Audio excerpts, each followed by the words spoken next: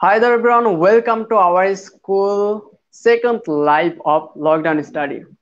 পূর্বের মতো আমরা আজকে আরেকটি লকডাউন স্টাডি লাইভ সেশনে চলে আসলাম। এন্ড আজকে আমার সাথে আছে এমন একটি মানুষ আমার অনলাইন শিক্ষাক্ষেত্রে বা আমার লাইফের অনলাইন শিক্ষাক্ষেত্রে একজন সেরা মানুষ এবং আমার খুব প্রিয় একজন মানুষ তহিদুল আলম এবং যাকে আমরা সবাই তহিদ স্যার নামে চিনি। আজকে আমরা আমাদের এই লাইভ সেশনটিতে আমরা আজকে এই লকডাউনের সময় কীভাবে আমরা আমাদের স্টাডিটাকে আরও একটু মজাদার এবং সুন্দর করতে পারি এবং আমাদের সময়টাকে কীভাবে আরও সুন্দরভাবে কাজে লাগাতে পারি, এরকম বিভিন্ন বিষয় নিয়ে আজকে আমরা কথা বলব। সো যে মানুষটা আজকে আমাদের সাথে, আমাদের লাইভ সেশনটিতে আসবে, তার সম্পর্কে বলতে গেলেও হয়তোবা আমাদের অনেক সময় লেগে যাবে। সো তার সম্পর্কে যদি আমরা একটু বলি, তাহলে he is one of the best mathematics teacher and he is mathematics assistant mathematics teacher of Shohid Bir Uttam Lieutenant Anwar Girls College, and he is founder and CEO of Tohid Academy. এবং আমাদের সবার পরিচিত একটি platform আমাদের school সে আমাদের স্কুলের সপরিচালক এবং এছাড়াও আমরা প্রায় তার বিভিন্ন ম্যাথমেটিক ক্লাস দেখতে পাই আমাদের বিটিভি বা ন্যাশনাল টিভিতে এবং সে একজন ফর্মার টিচার অফ ইডিটিভ বিডি ডট কম সো স্যারের সম্পর্কে বলতে গেলে আরও অনেক কিছুই বলতে হবে। সো আমরা দেরি না করে আমাদের সেই মানুষটির সাথে সেই আমার খুব প্রিয় একজন মানুষের সাথে আমরা এখন আলোচনায় চলে যাব। সো লেট সি আসসালামু আলাইকুম স্যার কেমন আছেন স্যার? ওয়ালাইকুম আসসালাম। আলহামদুলিল্লাহ ভালো আছি। তুমি কেমন আছো? আলহামদুলিল্লাহ স্যার। আওয়ার স্কুলের পক্ষ থেকে এবং আওয়ার স্কুলের সকল টিম মেম্বারদের পক্ষ থেকে আপনাকে অসংখ্য ধন্যবাদ এবং শুভেচ্ছা যে আপনার শত ব্যস্ততার মাঝে আমাদেরকে একটু টাইম দেওয়ার জন্য এবং আমাদের এই জিএসসি এবং এসএসসি ক্যান্ডিডেট ক্যাম্পিং এর স্টুডেন্টদের একটু সময় দেওয়ার জন্য। স্যার আন্তরিকভাবে আপনাকে শুভেচ্ছা এবং ভালোবাসা।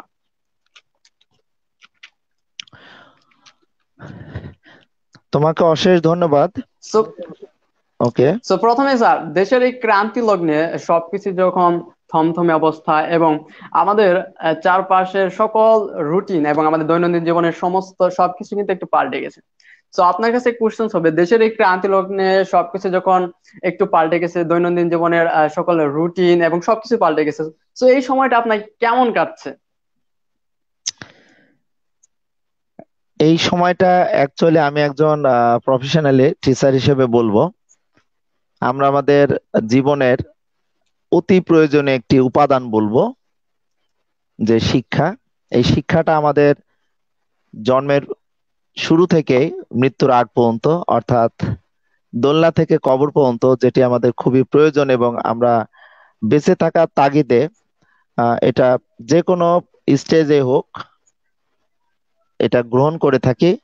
সেই শিক্ষার এই অবস্থায় সারা বিশ্বব্যাপী যখন আমরা একটা মহামারী করোনা ভাইরাস, এই করোনা ভাইরাসের থাবায় শুধু বাংলাদেশ নয়, সারা ওয়ার্ল্ড ওয়াইজ একটা পরিস্থিতির মধ্যে আমরা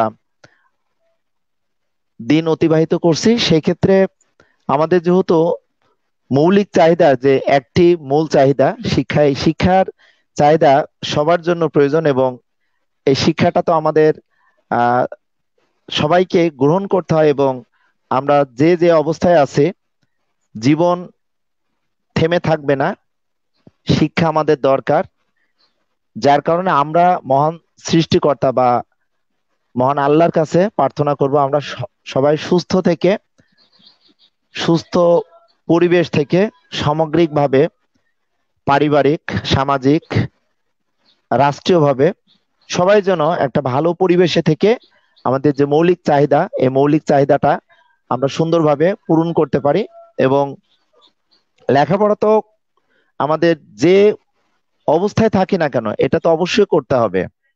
তবে আগের মতো যে আমরা বাস্তব চিত্রে সকালে উঠে একটা নির্দিষ্ট নিয়ম মেনে প্রতিষ্ঠানে যেতাম প্রতিষ্ঠানের নির্দিষ্ট রুটিন অনুযায়ী আমাদের পড়াশোনা করা লাগতো। সেই অবস্থাটা বর্তমানে সারা বাংলাদেশে নেই, সারা বিশ্বব্যাপীর যেহেতু এমন পরিস্থিতি নেই, সেই ক্ষেত্রে আমরা বাংলাদেশি হিসাবে আমাদের যে অবস্থাটা, এই অবস্থাটা আমরা মেনে নিয়েছি বা আমরা ওভাবেই কিন্তু ঘরে বসে স্টে অ্যাট হোম যেটি আমরা বলছি, সবাই কিন্তু সুস্থ থেকে পড়াশোনাটা করে যাচ্ছে। এবং আমার সাথে হয়তো অনেকে একমত হবে আমার দৃঢ় বিশ্বাস। জি sir thank you so much তো বুঝতেই পারছি দেশের এই ক্রান্তি লগ্নে সবকিছু যখন পাল্টে গেছে, মানুষের জীবনযাত্রার মান, সবকিছু একটু পাল্টে গেছে সবকিছু কিন্তু আমরা, আমাদের প্রতিনিয়ত আমাদের এই সময়টাকে আমরা ওইভাবে মেনে নিচ্ছি এবং দৈনন্দিন কাজগুলো আমাদের নতুন ভাবে রুটিন ভাবে আমরা সবকিছু করে যাচ্ছি। তো স্যারের কাছে আমাদের নেক্সট যে কোয়েশ্চেনটা থাকবে সেটা হচ্ছে, আমরা সবাই তো স্যার ছোটবেলা থেকে ম্যাথ সাবজেক্টটাকে একটু গুরুত্ব দিই এবং আমরা দেখতে পাই যে আমাদের সারা বছর আমরা ম্যাথ সলভ করে থাকি ম্যাথ তাতে একটু বেশি সময় দেই। এবং আপনি যদি একজন ম্যাথ টিচার এবং আমি বলব একজন ম্যাথের অভিজ্ঞ টিচার এবং আপনি অনেক প্ল্যাটফর্ম অনেক সংস্থার সাথে, অনেক প্রতিষ্ঠানের সাথে কাজ করছেন সো আপনার ভেতর থেকে বা আপনার অপিনিয়নটা জানাবেন যে আমাদের ম্যাথ সাবজেক্টটা যেটা আমরা সারা বছর এত অক্লান্ত পরিশ্রম দেই বা এত পরিশ্রম দেই তা তো সেই পরীক্ষার আগে মনে হয় যে আমাদের ম্যাথের অনেক কিছু এখন আমরা পারি না বা ম্যাথটা নিয়েই ভয় থাকে। সো আপনার কাছে এই ম্যাথ সাবজেক্টটা কেমন বা আপনি এটাকে কীভাবে ফিল করেন ম্যাথটাকে এবং ছাত্রছাত্রীরা ম্যাথটাকে কীভাবে নিতে পারে এবং কীভাবে তারা ম্যাথে ভালো করতে পারে? তোমার এই প্রশ্নের আসলে উত্তরটা যদি দিতে চাই সেই ক্ষেত্রে আমি অন্যান্য সাবজেক্টকেও ছোট করে ভাববো না বা দেখব না। কারণ পড়াশোনাটা যে একটা ধারাবাহিক মূল্যায়ন, শুধুমাত্র ম্যাথমেটিক্স নিয়েই তো কোন একটি পরিপূর্ণ সার্টিফিকেটের রেজাল্ট আসে না। বাংলা ইংরেজি ম্যাথমেটিক্স সায়েন্স ফিজিক্স কেমিস্ট্রি বা আদার সাবজেক্টে যে বিষয়টা হয় যে অষ্টম শ্রেণি পর্যন্ত তোমাদের শিক্ষার্থীদের বিশেষ করে শিক্ষার্থীদের ইংরেজি এবং ম্যাথের এই দুইটা বিষয় কিন্তু তাদের একটু ভয় থাকে। অ্যাকচুয়ালি ভয় না আমরা হ্যাঁ ঝামেলা বা ভয় আমরা বলব না। আমরা বাংলাদেশের প্রেক্ষাপটে যেটা দেখি যে আমরা শহরমুখী বা থানামুখী যারা আছে তাদের কাছে অনেক সুযোগ সুবিধা থাকে। কিন্তু আমি তুমি বা এই মুহূর্তে প্রত্যন্ত অঞ্চলের বা আমার প্রাণপ্রিয় শিক্ষার্থীরা আছে তাদের ভিতরে কিন্তু একটা আনন্দ এবং একটা ইন্টারেস্টিং সাবজেক্ট হিসাবে কিন্তু প্রথমে এটাকে মেনে নিতে হবে। মেনে নেওয়া মানে এটাকে ওভাবেই জীবনের সাথে কিন্তু সেট আপ করে নিতে হবে। কারণ ম্যাথমেটিক্স এর যে মূল্যায়নটা বা ম্যাথমেটিক্স এর যে ভয়, এটা আসলে ছোট থেকেই। আমি যদি বলতে চাই, তুমি বলেছ যে আমি বিভিন্ন প্ল্যাটফর্মে কাজ করছি। অ্যাকচুয়ালি তৌহিদ একাডেমি বা আমাদের স্কুল আমাদের স্কুলে আমি এবং ফাদ স্যার দুজনে ওনারশিপ ওখানে আমরা দুজন অনলি ফর এখন পর্যন্ত তোমাদের বা সারা বাংলাদেশের যারা প্রাণপ্রিয় শিক্ষার্থীরা আছো তারা কন্টিনিউসলি আমাদের স্কুলে আমার এবং ফাহাদ স্যারের ক্লাসগুলো দেখছ। এছাড়াও ফাহাদ স্যার এবং আমি আলাদাভাবে আমার একটি তৌহিদ একাডেমি যেটি শুধুমাত্র তোমরা যদি দেখো শুধু ম্যাথের ক্লাসগুলো ওখানে আপলোড করি। এন্ড ফাহাদ স্যার আলাদাভাবে পার্সোনাল ভাবে একটি ফাজ টিউটোরিয়াল ইংলিশ ভাষণে ইংলিশ মিডিয়ামদের স্টুডেন্টদের জন্য ওনার পক্ষ থেকে সুন্দরভাবে কাজ করে যাচ্ছে। এটা বলার কারণ অ্যাকচুয়ালি আমি ক্লাস ওয়ান থেকে না নার্সারি থেকে যদি বলি যে class one two three four primary level পর্যন্ত যদি বলা হয় ক্লাস ফোরটা কিন্তু ফাইভ ফোর এবং ফাইভটা যদি একটু কম্পেয়ার করা হয় নাইন টেনের সাথে কিন্তু সম্পর্কযুক্ত। আমি এই কারণে বলব আমি ক্লাস ওয়ানের ম্যাথগুলো দেখেছি রিসার্চ করেছি ক্লাস টু এর ম্যাথ দেখেছি।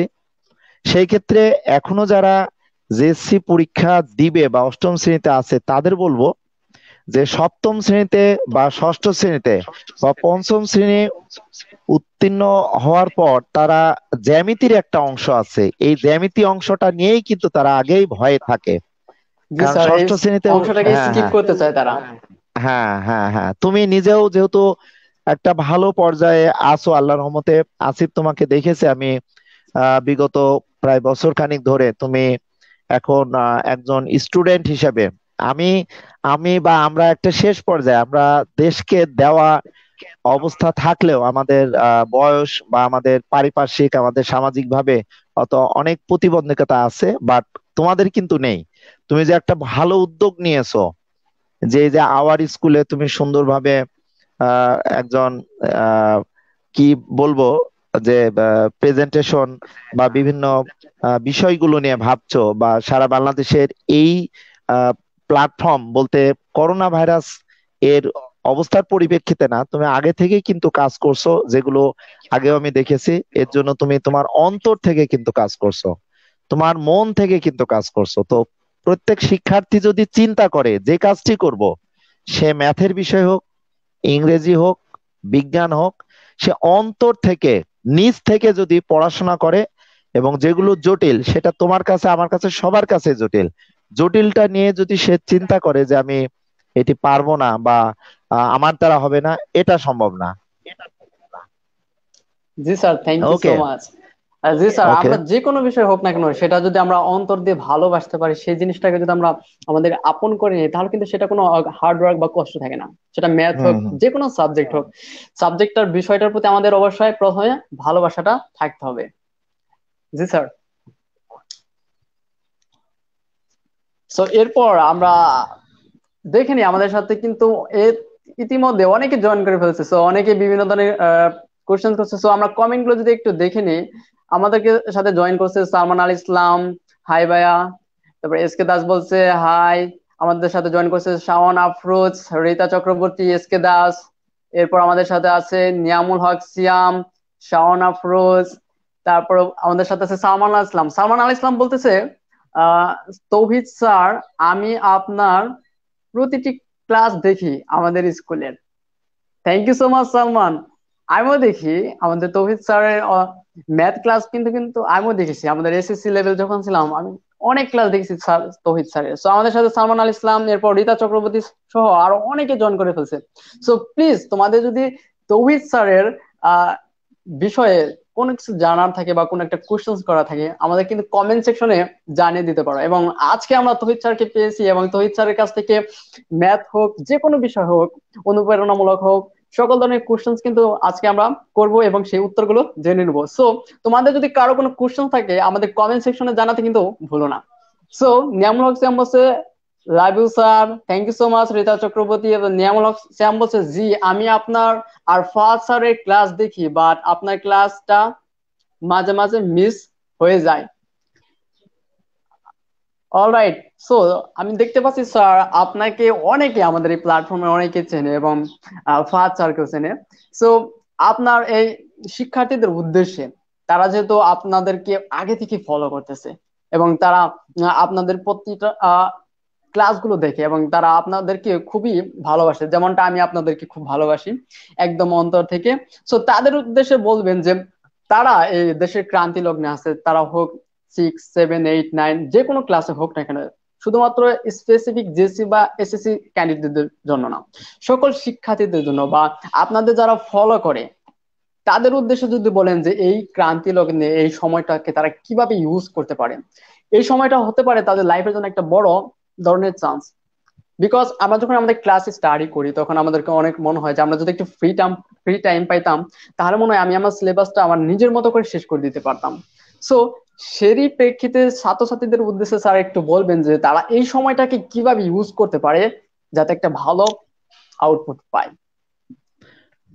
থ্যাংক ইউ আসিফ অ্যাকচুয়ালি আমাদের প্রাইমারি লেভেল এরপর জেএসসি যে পর্যায় পর্যন্ত আছে, এরপরে এসএসসি লেভেল বা ইন্টার অর্থাৎ বাংলাদেশের শিক্ষা ব্যবস্থায় যে আমরা দেখি যে পিএসসি পরীক্ষা শিক্ষার্থীদের জন্য এক ধরনের আমাদের চিন্তা ভাবনা করা লাগে শিক্ষক হিসেবে। প্রাইমারি পর্যন্ত শিক্ষার্থীদের, তাদের অভিভাবকদের অনেক কথা বা তাদের নির্দেশনা মেনে চলতে হয়। এবং পঞ্চম শ্রেণীতে তারা নভেম্বরে ফাইনাল পরীক্ষা দেয়। সেই ক্ষেত্রে এটি কিন্তু জুলাই মাস চলছে এবং সারা বাংলাদেশের প্রেক্ষাপটে থানা শহরে কিন্তু বিভিন্ন মডেল টেস্ট পরীক্ষা যদি অবস্থা ভালো থাকতো সেই ক্ষেত্রে কিন্তু পরীক্ষা হয়ে যেত মিনিমাম একটা থেকে দুইটা। তো আমি আমার বাস্তব অভিজ্ঞতায় বলব আমি শহীদ বীর উত্তম লেফটেন্যান্ট আনোয়ার গার্লস কলেজের শিক্ষকতার পেশা আছে। আমি ক্লাস ফাইভ এইট টেন তিনটি ডিপার্ট তিনটা ক্লাসেই আমি ম্যাথের ক্লাস নিই এবং তিনটা ক্লাস এই আমার ম্যাথের যে ইনচার্জ হিসেবে আমাকে অনেক সময় হ্যান্ডেল করতে হয়। তো পঞ্চম শ্রেণির শিক্ষার্থীদের এক ধরনের আমাদের চিন্তা ভাবনা করে তাদের অভিভাবকদের সাথে, শিক্ষার্থীদের সাথে হ্যান্ডেল করা লাগে।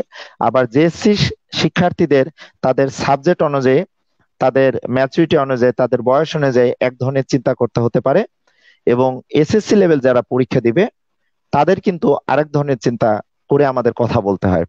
সো আমি যদি বলি, এই মুহূর্তে তিনটা ডিপার্টমেন্ট না বলে যদি আমি শুধু জেএসসির কথা বলি জেএসসি পরীক্ষার্থীদের সারা বাংলাদেশ সহ আমি আমার প্রতিষ্ঠানের কথা বলব। অলরেডি আমাদের প্রতিষ্ঠানে আমাদের সিলেবাস শেষ হয়ে গেছে। আমরা হয়তো ফার্স্ট মডেল টেস্টই আমরা নিয়ে ফেলতাম এতদিন।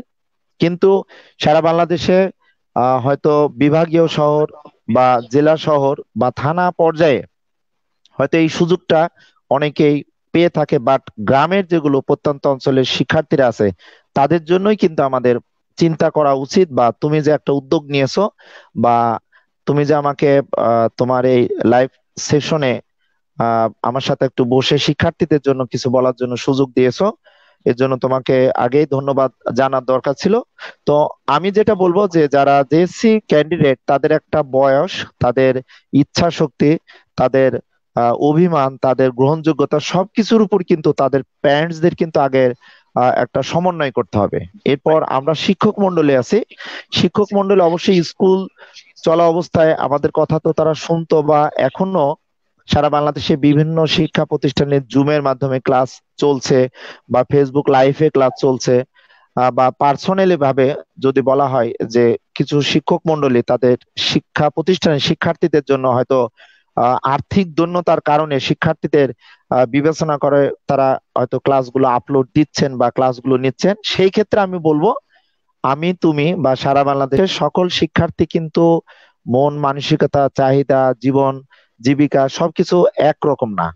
স্কুল যদি চলতো, সেই ক্ষেত্রে হয়তো সকাল থেকে বারোটা পর্যন্ত স্কুলে থাকতো। এরপরে এসে তার জীবনের যে শিডিউল থাকতো, নির্দিষ্ট রুটিন থাকতো, সে অনুযায়ী কিন্তু সে পড়াশোনা করতো। বাট এখন প্র্যাকটিক্যালি বলতে আমি তুমি সারাদিনের রুমের ভিতরে আছি বা গ্রামে যেসব শিক্ষার্থীরা তোমরা আছো, তারা কিছুটা হলে কিন্তু বিকেলে এখনও বাইরে বের হতে পারছ। তোমরা কিন্তু আমাদের শহরের তুলনায় অনেক ভালো আছো। আল্লাহর রহমতে অনেক মন মানসিকতার দিক দিয়ে ভালো আছো। এখন তোমাদের কাজ হবে যে এই আগে যেভাবে পড়াশোনা করতে, এখনও তোমরা সেভাবে পড়াশোনা করতে পারো। শুধুমাত্র প্রতিষ্ঠানে যাওয়া লাগছে না। বাট তোমরা যদি এভাবে চিন্তা করো যে সাতটা সাবজেক্টের যদি ক্লাস থাকতো স্কুলে সেক্ষেত্রে তোমরা হয়তো সকালে চারটি সাবজেক্ট পড়াশোনা করতে, রাত্রে তোমাদের রুটিন অনুযায়ী হয়তো তিনটা সাবজেক্টে পড়াশোনা করতে। বা তোমাদের সহায়ক হিসেবে তোমাদের সাবজেক্ট শিক্ষক যারা থাকতেন তাদের কিছু পরামর্শ বা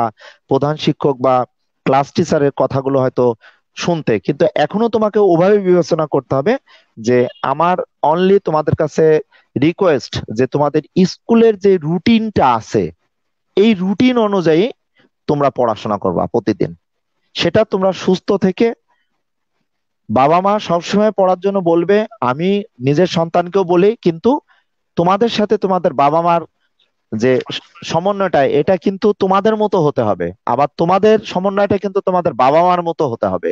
অর্থাৎ তোমার বাবা মা আমরা সবসময় আমার সন্তানদের সুস্থ এবং পড়াশোনার বিষয়টাই কিন্তু নেই কিন্তু তোমাদের পিছনে সবসময় লেগে থাকে। অন্য কোনো রিজন নেই। সো তোমরা যদি প্রতিদিন রাত্রে তিনটা সাবজেক্ট বা চারটা সাবজেক্টে আধা ঘণ্টা করে সময় দাও অনলি ফর ম্যাথের জন্য না। তোমাকে রুটিন অনুযায়ী তোমার স্কুলে যদি টিফিন আওয়ারের পূর্ব মুহূর্তে চারটি সাবজেক্ট থাকতো, ওই চারটা সাবজেক্টে আধা ঘণ্টা সময় দাও। কয় ঘণ্টা হলো? দুই ঘণ্টা হলো। এরপরে তুমি টিভি দেখবে, তুমি ফেসবুকে যেহেতু এইটে পড়াশোনা করো, সেই ক্ষেত্রে তোমার আব্বু, আম্মু যদি তোমাকে তেমন সুযোগ দেয় যে কোনো একটা সংবাদ পাওয়া বা যে কোনো একটা মিডিয়ার ব্যাপারে বা এখন এই যে ফেসবুক লাইভে তোমরা ক্লাসগুলো দেখছ, সারা বাংলাদেশে বিভিন্ন চ্যানেলের ক্লাসগুলো শিক্ষা সহকের এগুলো তোমাদের আব্বু আম্মুর সাথে শেয়ার করেই কিন্তু দেখতে পারো। যেমন আমার বা আসিফ যে একটা ব্যবস্থা করেছে, এটাই তোমরা কিন্তু তোমাদের পড়াশোনার জন্যই কিন্তু তোমাদের আব্বু আম্মুর কাছে তোমরা ডিভাইসটা হেল্প হিসেবে নিতে পারো।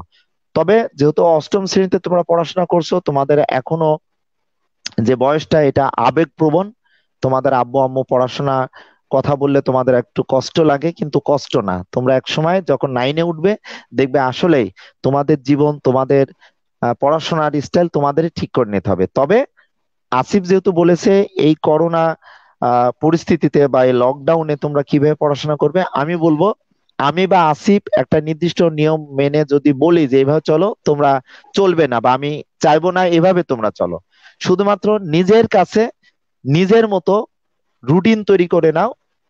মিনিমাম প্রতিদিন যদি তুমি বেশি সময় দিব না, সাতটি সাবজেক্টের জন্য সাড়ে তিন ঘণ্টা তুমি সময় দিবে। আর বেশি সময় দেওয়ার দরকার নাই। এরপরে তোমার নিজ থেকে মনে হবে যে আমি কোন একটা বাংলা প্রশ্ন পড়তে যে আধা ঘন্টায় তো হচ্ছে না, কোন একটা ম্যাথের অনুশীলনী করতে যে কোন একটি সৃজনশীল বা কোন একটা জিওমেট্রি দেখবা আস্তে আস্তে আস্তে তোমার আগ্রহটা বাড়বে। পড়াশোনার ক্ষুধা আস্তে আস্তে বাড়বে। তুমি এক সময় তোমার আব্বু আম্মুকে বলবে যে, আমার পড়ার রুমে তোমরা ডিস্টার্ব করো না। এটাই স্বাভাবিক। তো সেই ক্ষেত্রে বলব যে, তোমরা প্রথম কথা, সুস্থ থাকবে। আমরা মুসলমান বা যে যে ধর্মের শিক্ষার্থীরা তোমরা এই মুহূর্তে এই লাইফে আছো, তোমাদের ধর্মীয় নিয়ম নীতিগুলো মেনে থেকেই এবং ধর্ম, যে কোনো ধর্মের কিন্তু শান্তি আছে। সো তোমার লাইফ স্টাইল তোমার কাছে। তোমাকে শুধু আমরা বড় ভাই বা টিচার বা তোমাদের প্যারেন্টস বা বয়োজ্যেষ্ঠরা বা বড় কাজিনরা কিন্তু সবসময় বলবে যে, পড়াশোনা করো। দেখো অমুকে ইঞ্জিনিয়ার হয়েছে, দেখো অমুকে ডাক্তার হয়েছে, দেখো অনেকে আসিফ হয়েছে, দেখো অনেকে ফাহাদ স্যার হয়েছে, দেখো অনেকে টেন মিনিটস স্কুল হয়েছে, দেখো দীপু মনি একজন, আহ আমাদের বাংলাদেশের প্রাইম মিনিস্টার কিন্তু একজন মেয়ে। মেয়েরাও যারা আছো তাদের জন্য বলছি বা এই যে চিন্তা চেতনা এরকম তোমাকে অনেক শখ অনেক সাধনা নিয়েই কিন্তু নিজের জীবনটাকে কিন্তু সুন্দরভাবে গোছাতে হবে। এবং এই লকডাউনের সময় আমি বলব তোমাদের অনেকেরই পার্সোনালি ভাবে আমি যদি বলি আসিফ বা আমারও কিন্তু মেজাজ হট হয়ে থাকে।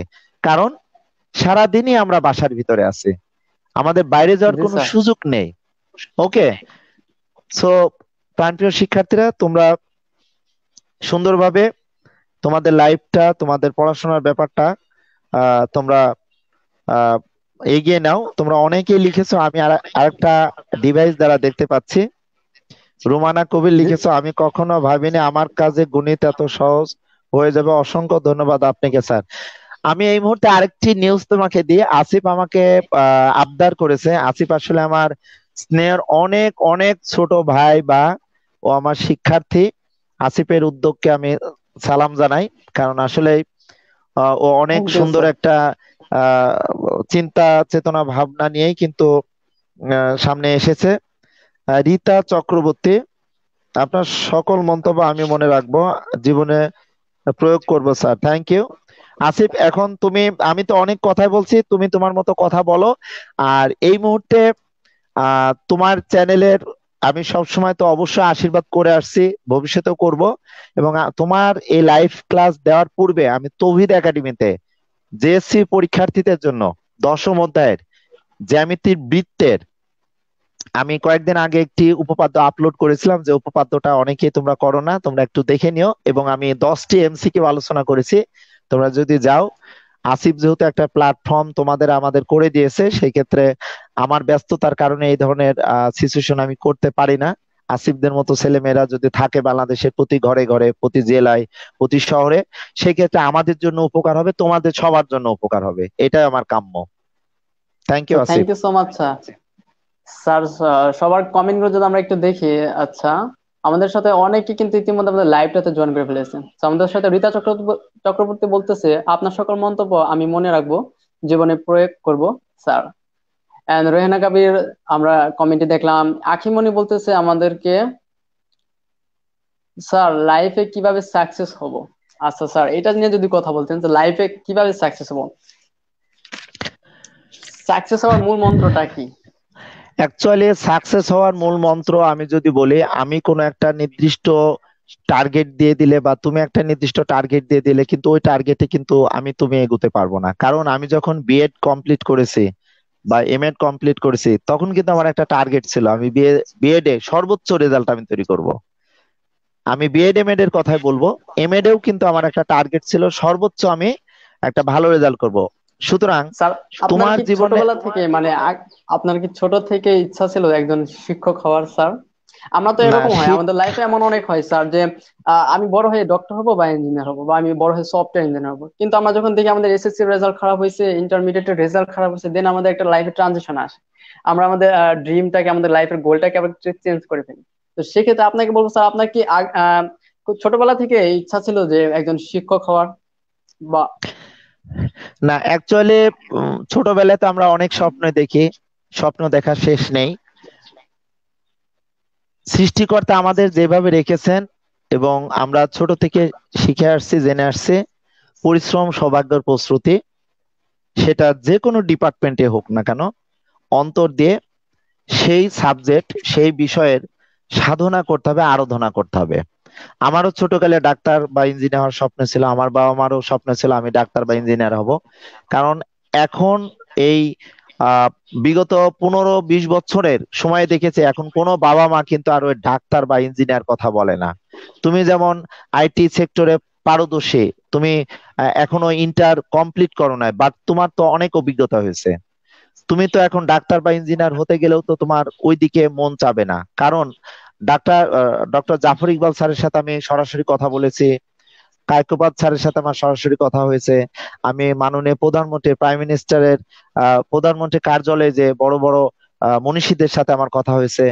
আমি ওখানে যে কথা বলেছি, আসলে সবার স্বপ্ন, সবার জায়গা তার নিজের কাছে। সে নিজে কি হতে চায়, সেটা হলো বড় কথা। তবে আমি বলব, নির্দিষ্ট যে সময়, এই সময় পরে কিন্তু আর সাকসেস হওয়া যাবে না। যখন যে সময়, সেই সময়টা, সেই অবস্থায় আমাদের প্রপার ইউটিলাইজ করতে হবে, সেই সময়টাকে। তাহলেই আমরা যে পথে যাই না কেন, সেই পথে আমাদের সাকসেস হবে। কারণ তুমি যদি নর্মালি বলো যে আমরা অনেকে ঢাকা বিশ্ববিদ্যালয় বা বাংলাদেশের সেরা সেরা বিশ্ববিদ্যালয়ে পড়াশোনা করতে চাই অ্যাডমিশন দিয়ে সেই সাবজেক্টগুলো নাও তোমার ভাগ্যে হতে পারে। বাট তুমি যখন ফিজিক্সে চান্স পেলে না, তুমি ম্যাথে চান্স পেয়েছ বা হয়তো আর্টস এর কোনো সাবজেক্ট চান্স পেয়েছ বা কমার্সের কোনো সাবজেক্টে চান্স পেয়েছ। তুমি যদি সেখান থেকে চিন্তা করো যে আমি ঢাকা বিশ্ববিদ্যালয়ে কমার্সেই পড়ব এবং কমার্সে ওই সাবজেক্টে আমি সবচেয়ে ভালো রেজাল্ট করব বা আমি বাংলাতে আমি চান্স পেয়েছি বা ইসলামিক স্টাডিজে আমি চান্স পেয়েছি ওখানে আমি সবচেয়ে ডিপার্টমেন্টের একটা ভালো রেজাল্ট করব। আমি বলব ওটাই সাকসেস সাকসেসের সীমা নেই।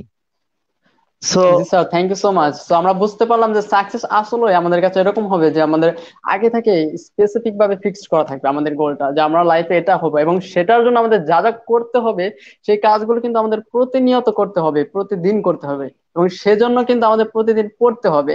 এই লকডাউনের সময় বা দেশের এই ক্রান্তি লগ্নে আমরা অনেকে কিন্তু র্যান্ডম ভিডিওস বা অন্যান্য সকল কাজকর্মে যুক্ত থাকি। তো এই সময়টাকে যদি প্রপারলি ইউজ করা যায় আমাদের টাইমটাতে নতুন কিছু শেখা যায় তাহলে কিন্তু আমাদের লাইফের গোলটা যেমন আমাদের সাকসেস হবে আমাদের অ্যাচিভ করতে পারব ঠিক আমাদের বাবা মার স্বপ্ন আমাদের প্রতিবেশী এবং বড়দের স্বপ্ন কিন্তু এবং নিজের স্বপ্ন কিন্তু আমরা পূরণ করতে পারব। সো এরপর আমাদের সাথে রেহমা কবি বলছে স্যার আপনার কি গণিত সাবজেক্টটা অনেক প্রিয়? তহিদ স্যারকে হ্যাঁ আচ্ছা। অ্যাকচুয়ালি যখন আমি অনার্স নিয়ে ম্যাথমেটিক্সে পড়াশোনা শুরু করলাম তখন থেকে তো আসলে যদি এভাবে আমি একটু বলি গল্পটা এমন হতে পারে যে আমার তোমার মানে ভাগ্যে কি লেখা আছে এটা কিন্তু আমি তুমি জানি না। সো আমার মায়ের কথা যদি বলি আমার মা যখন যেটা রান্না করেছে বা ফ্যামিলি মেনটেন করছে ওনার কিন্তু একটা স্বপ্ন ওনার একটা পরিকল্পনা থাকতো যে আজকে এই রান্নাটা করব সবাই যাতে খুশি হয়।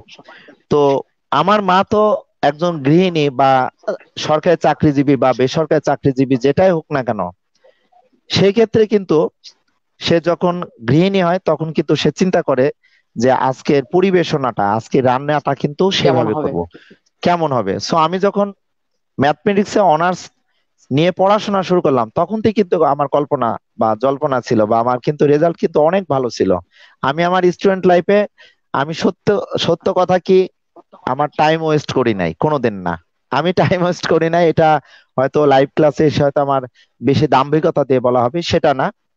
হ্যাঁ আনন্দ করেছি বাট আনন্দটা নিয়েছি, চিন্তা করেছি আমার স্টুডেন্ট লাইফ এই চব্বিশ বছর আমাকে যে জীবন যৌবন আছে চব্বিশ বছরের যে অ্যাচিভমেন্ট অর্থাৎ আমার যে ভালো রেজাল্ট বা আমার থিসিস করা এগুলো আমার আগে করতে হবে। যার কারণে আমি honours first year second year third year প্রত্যেকটা ডিপার্টমেন্টে কিন্তু আমার অনেক ভালো রেজাল্ট থাকতো। এবং আমি ডিপার্টমেন্টের টিচারদের কাছে যে আমি বিভিন্ন রাইটারের বই ইভেন বিভিন্ন বিশ্ববিদ্যালয়ে ভালো ভালো স্টুডেন্টদের সাথে আমি লিঙ্ক করার চেষ্টা করতাম আর কি কি রাইটারের বই আছে। জাস্ট আমি তোমাকে যদি বলি এই মুহূর্তে আমার কাছে তুমি যদি এখন বলো স্যার আপনার কাছে কি নার্সারির ম্যাথের বই আছে? আমি তোমাকে দেখাতে পারব। তুমি যদি আমাকে বলো স্যার মাস্টার্স এর কোনো বই আছে এমবিএ এর কোনো ম্যাথের বই আছে? যে কোনো ডিপার্টমেন্টের বই আমি কিন্তু সব কালেক্ট করেছি। এটা আমার কিন্তু একটা নেশা। আমাকে কেউ যদি একটা হ্যাঁ বলো।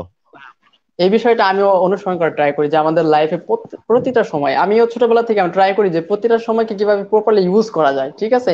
আমার সময় বয়সে অনেকে আমরা দেখতে পাই যে তারা বিভিন্ন র্যান্ডমলি বিভিন্ন কাজ কর্মের সাথে লিপ্ত থাকে এবং দেখি অনেক কাজ করে, কিন্তু আমার মনে হয় যে এমন কিছু শেখার দরকার যে জিনিসটা কি আমাকে ফিউচারে বা আমাদের ভবিষ্যতে কাজে দেবে এবং সময়টাকে এমন ভাবে ইউজ করা দরকার যাতে কিনা ভবিষ্যতে যে মনে না হয় যে আমার লাইফের আমার টাইম গুলোকে আমার ওয়েস্ট করেছি বা আমার এই সময়টাকে আমি প্রপারলি ইউজ করতে পারি না।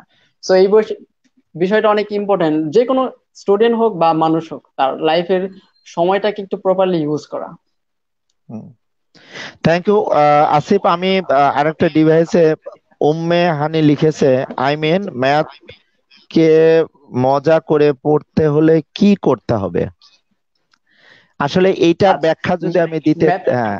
হ্যাঁ হ্যাঁ বলো, তুমি বলো। ম্যাথকে মজা করে পড়া ম্যাথকে মজা করার বিষয়টা স্যার আমাদের প্রথমেই বলে দিয়েছেন।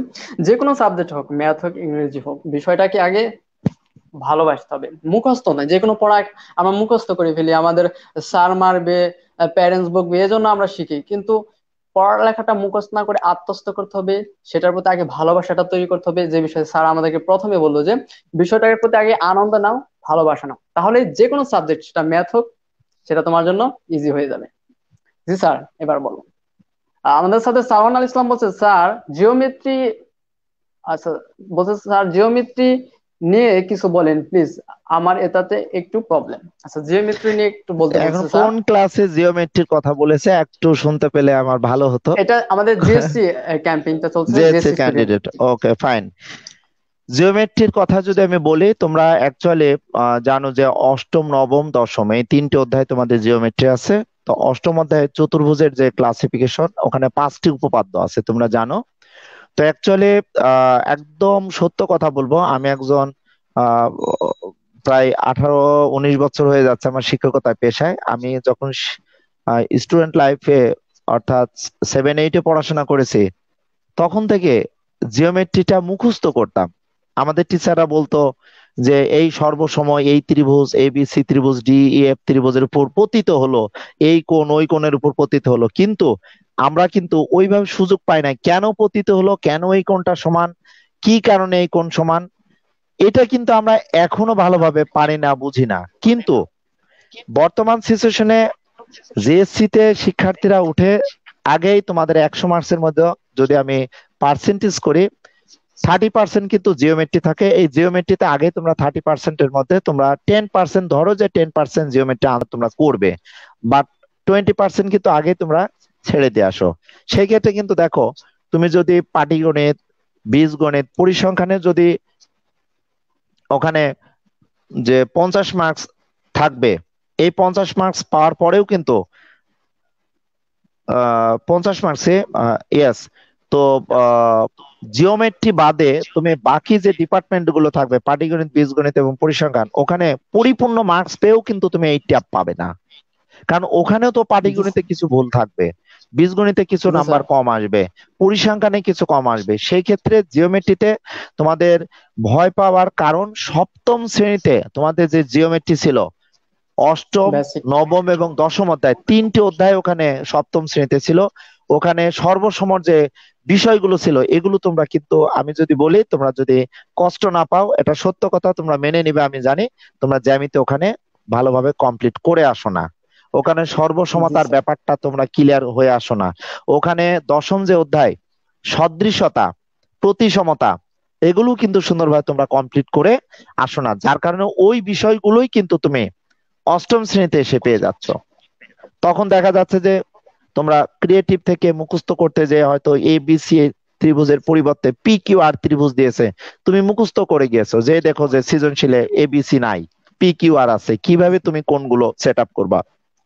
যার কারণে আমি তোমাদের আজকে অনুরোধ করব, আমি যেমন আজকে ক্লাস সিক্স এর একটা পোস্ট দিয়েছি, তোমরা যদি দেখো তহিদ একাডেমিতে, ষষ্ঠ শ্রেণীতে জ্যামিতিতে ষষ্ঠ এবং সপ্তম দুইটি অধ্যায় আছে ষষ্ঠ শ্রেণীতে উঠে পিএসসি পাশ করার পর শিক্ষার্থীরা কোন ও তার প্রকারভেদ ত্রিভুজ ও তার প্রকারভেদ চতুর্ভুজ ও তার প্রকারভেদ গড নোস আজকে আমি আমার শিক্ষার্থীদের বলেছি যে তোমাদের অষ্টম শ্রেণির জিওমেট্রি দেখিয়ে কিন্তু আমি বলেছি, দেখো তোমরা অষ্টম শ্রেণির জিওমেট্রি এখন করছ।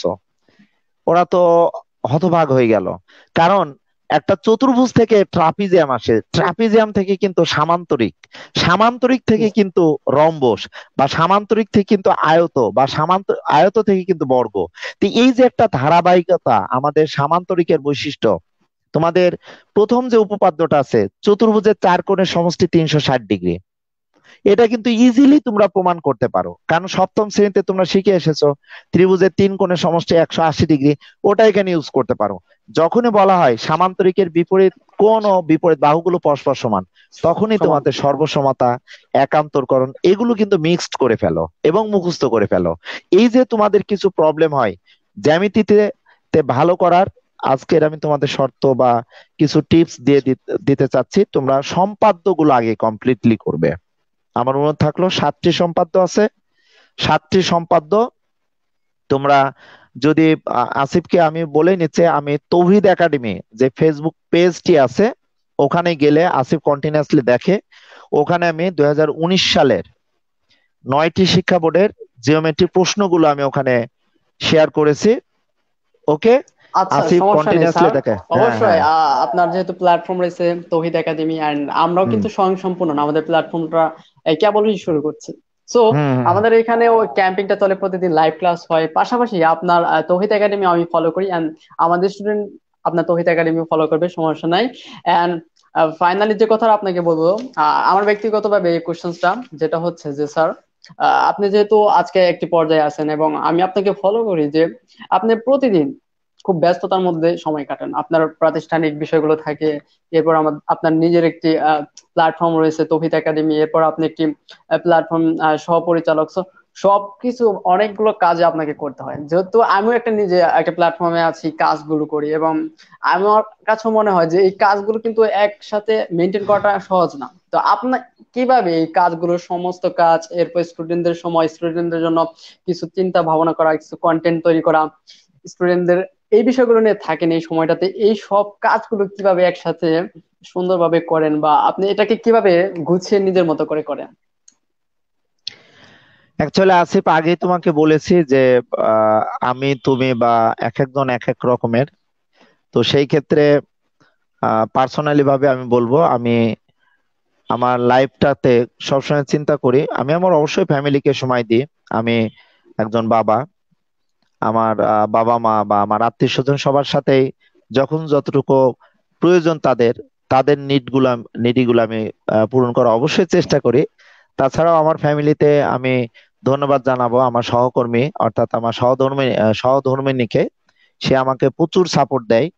ইভেন আমার একজন মেয়ে আছে সে চতুর্থ শ্রেণীতে পড়াশোনা করে ইংলিশ ভার্সনে আমার শিক্ষা প্রতিষ্ঠানে।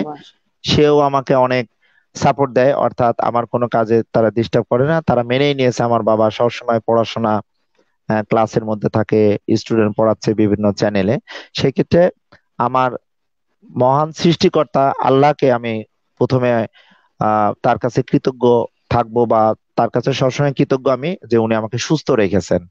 সুস্থ থেকেই আমি আমার স্কুলের যে একটা নির্দিষ্ট শিডিউল আছে, সেই শিডিউল তো মেনটেন করি। আমার পার্সোনাল ভাবে কিছু স্টুডেন্ট তাদের রিকোয়ারমেন্ট আমাকে পূরণ করতে হয়।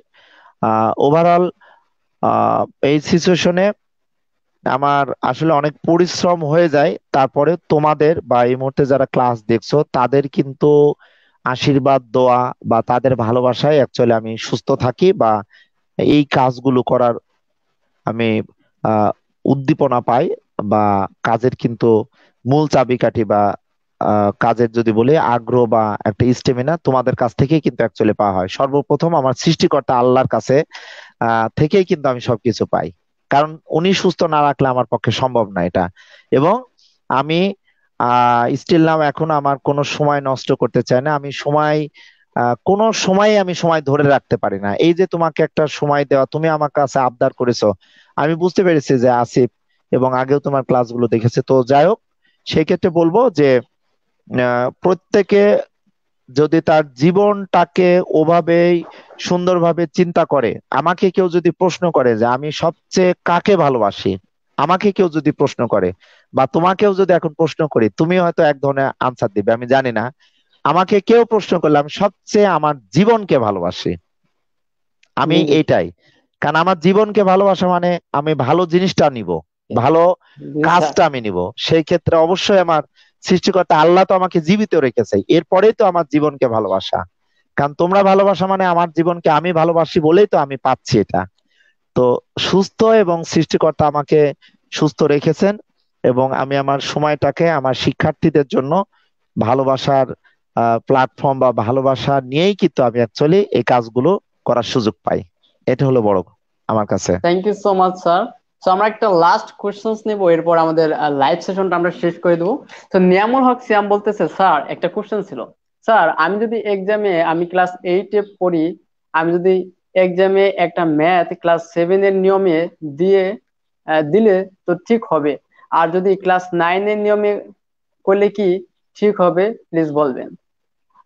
নিয়ামুল হক সিয়াম আচ্ছা ঠিক আছে আমি দেখতে পেয়েছি।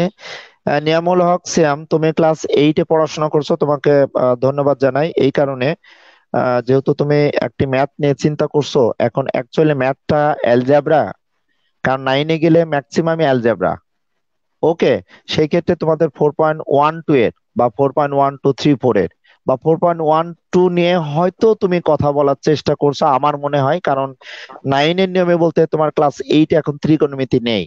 বা তুমি যদি এভাবে চিন্তা করো যে পাটিগণিতের তৃতীয় অধ্যায় আছে ক্লাস এইটে যেটা হয়তো নাইন টেনে পরিমিতি যে পাবা, কিন্তু পরিমিতি ওইখানে যে নিয়মের ম্যাথগুলো তুমি অষ্টম শ্রেণীতে তৃতীয় অধ্যায় এই নিয়মে হয়তো করলে কোনো সমস্যা নেই। তবে বলব ম্যাথ তুমি সপ্তম শ্রেণির নিয়মে করো বা নবম শ্রেণির নিয়মে করো, ওটা কোনো ব্যাপার নেই।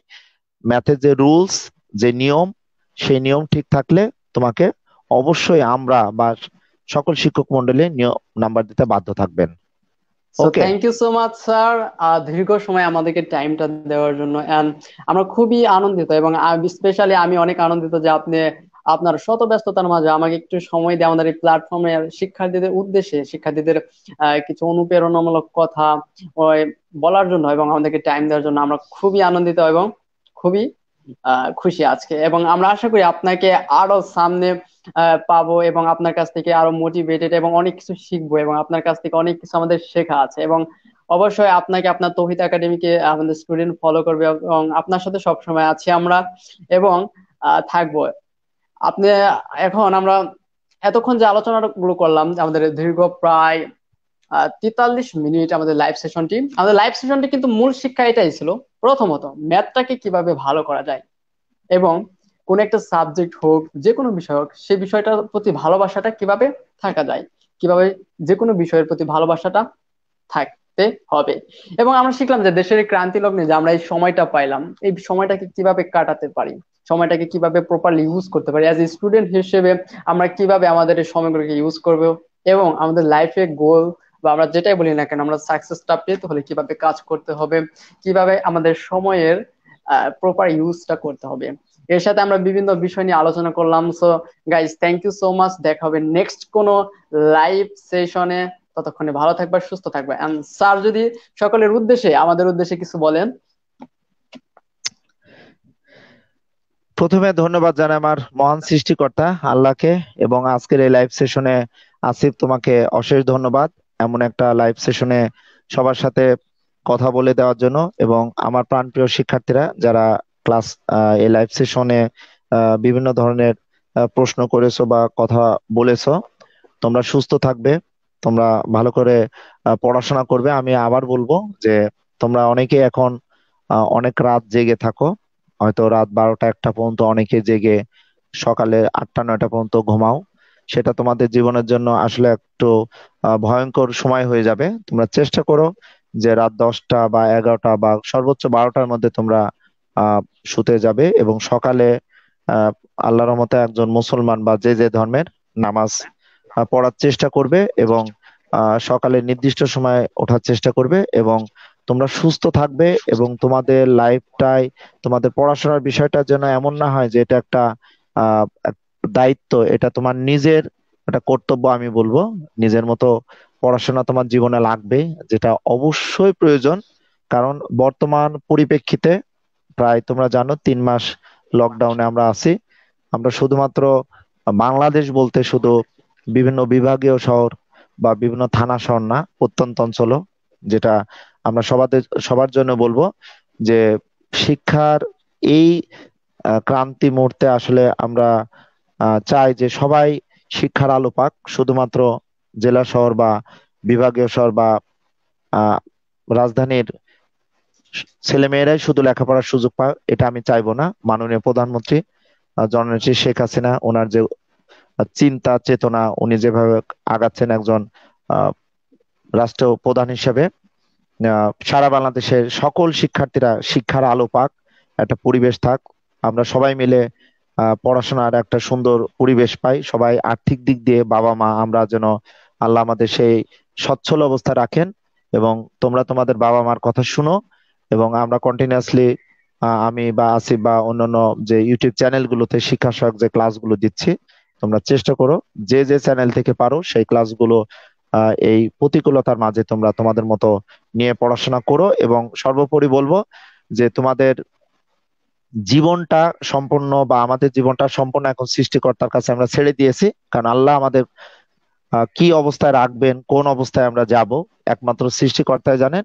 সবসময় সেই দোয়া করি এবং তোমরা ভালো থেকো, সুস্থ থেকো। আর জেএসসি পরীক্ষার পরীক্ষার্থীরা, তোমরা কখনো চিন্তা করো না যে তোমাদের পরীক্ষা হবে কিনা বা পরীক্ষা হবে। এই ধরনের কোনো চিন্তা না করে কন্টিনিউয়াসলি তোমাদের আমি আগে বলেছি স্কুলের যে রুটিন এই রুটিনের মতো তোমরা পড়াশোনা করে যাও। আজকে এক ঘণ্টা পড়লে কালকে দুই ঘণ্টা পড়লে আরও তিন দিন পর তুমি পড়াশোনা করলে না, এটা আমি বলব না। প্রতিদিনই তোমরা ধারাবাহিক ভাবে পড়াশোনা করো এবং সুস্থ থেকো। আব্বু, আম্মু সবার কথা এবং বড় ভাইদের কথা শুনবে এবং সর্বোপরি বলব, আল্লাহ যেন তোমাদের সুস্থ রাখে, আমাদের জন্য সুস্থ রাখে। আবার যেন দেখা হয় তোমাদের এমন কোন লাইভ সেশনে সে প্রত্যাশায় আজকের এই লাইভ সেশনে ইতি টানছি। আল্লাহ হাফেজ। Thank you so much so স্যারের কথার সাথে তাল মিলে আমিও একটু বলতে চাই যে সবার উদ্দেশ্যে নিজের জীবনকে ভালোবাসো, নিজেকে ভালোবাসো এবং নিজে শুধুমাত্র ডক্টর ইঞ্জিনিয়ার হলে লাইফে সাকসেস এমনটা না।